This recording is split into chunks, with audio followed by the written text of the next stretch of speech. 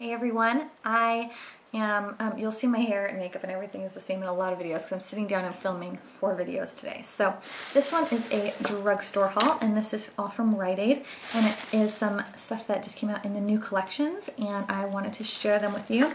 So um, we all know I don't need any more eyeshadow, I don't need any more lip products, and I don't need any more nail polish. Well, too bad because I just bought more. So the first thing I bought is I've never tried these. These are the Maybelline um, quads. I've never tried their quads. I mean, I did way back in the day, but recently I haven't. So these are three new quads that came out in their new summer collection. The first one is called Dainty Peach, and this is limited edition. I'm going to take those little sponges out. So there's Dainty Peach. This one's a beautiful neutral palette. If you like your nudes, you want something quick and easy, this is awesome. So I will swatch this for you. I've been swatching so my fingers are all crazy. Here are the colors. So they are pretty pigmented. You have a nice taupe, um, kind of a shimmery color here for your lid. You have a nice highlight and you have a nice dark brown. I don't know if they're going to swatch very good on my hand. You can't see the two middle ones very good, but um, they seem pretty nice. If you want to see a tutorial using this, let me know. Um, it might just be self-explanatory, so you might not want to see one, which I understand. The next one I got is called Flawless Nude, and this one is more of a taupey palette. Really, really pretty. So you have like a shimmering white, you have a pretty taupe, kind of like a bronzy color. This one's definitely more pigmented. And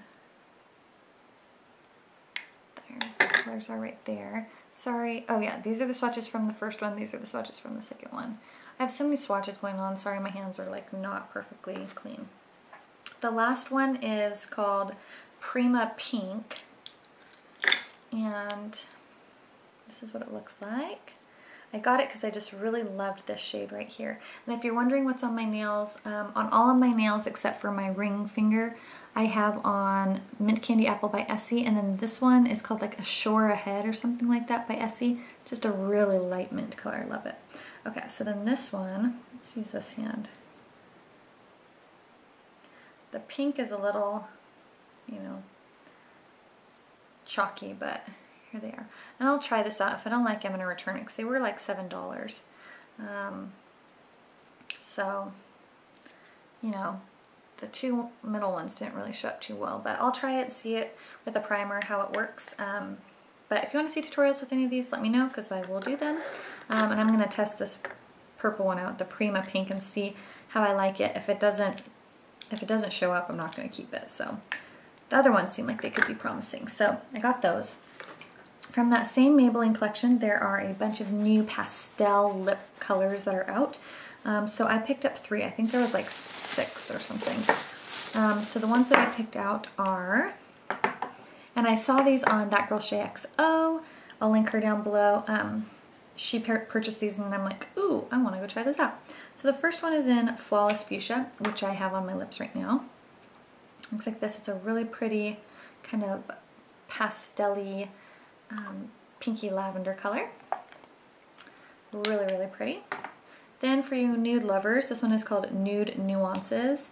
And this is gorgeous nude color. There it is. It's kind of like a peachy, peachy pink nude. Really, really, really pretty. And then the last one I pick up, picked up was Smooth Taupe. It looks like this. Kind of more of a brownie nude but it's like a flesh tone nude. Kind of reminds me of like maybe what, um, I don't know. I can't think of what I'm thinking of, but there it is there. Just kind of like a really nude nude. But I thought it was pretty. I don't know if it'll work on me, so I'll try it out and, you know, if it works, I'll keep it. And then the last things that I picked up were, um, as you know, I love supporting fellow YouTubers out there. I even love supporting my subscribers. So when they have, you know, businesses and stuff. So um, I picked up a bunch of the Julie G nail polishes. They just came out, um, or I just saw them at my Rite Aid. They haven't had them for weeks. I've been looking for a long time. So I picked up, how many did I pick up? I picked up seven. There's a bunch more, but I did good. I picked out seven. So the first one I picked up was called Birthday Suit. And this one is a very, very very light pink. I just thought this was so pretty. Just a classic, nice pastel pink. I also picked up, this one is in 9 to 5, which is a gorgeous sherbet peach color.